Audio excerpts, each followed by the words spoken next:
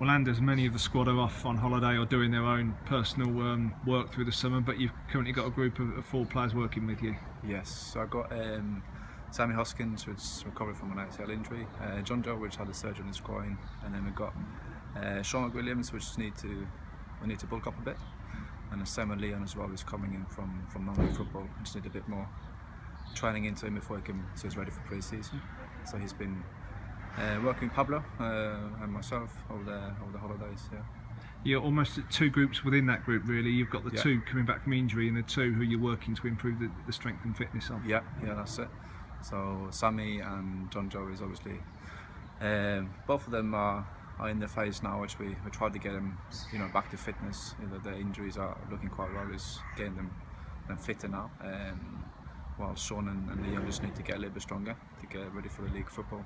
Um, and yeah, work on the fitness really.